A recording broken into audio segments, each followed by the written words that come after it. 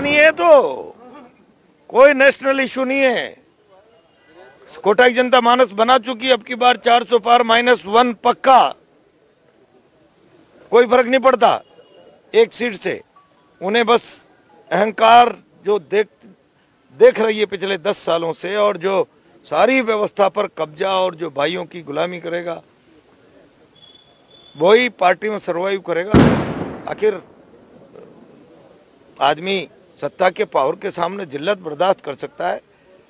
विरोध करने का साथ जुटा पावे नहीं जुटा पावे लेकिन जब फैसला करने का अवसर आता है तो फिर वो फैसला ठीक करता है और वो कोटा ने मन बना लिया इस बार।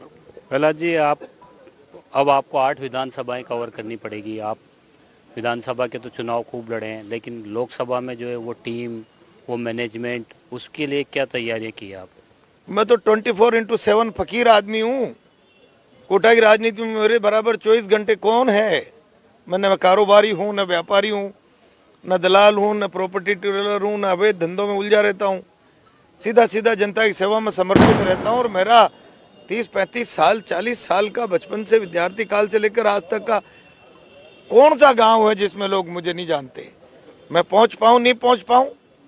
वर्षों की मेरी सड़कों पर लोगों के लिए लड़ते और संघर्ष करते और लोगों से मिलते जुलते सुख दुख में एक दूसरे के साथ खड़े रहते हुए लोगों ने देखा है मुझे तो क्या करना, जितना भागूँगा, पहुंचूँगा।